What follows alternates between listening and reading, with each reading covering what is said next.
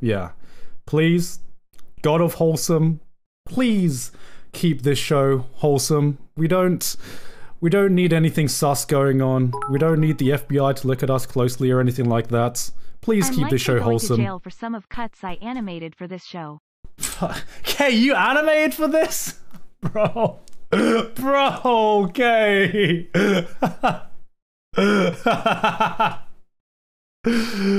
oh man.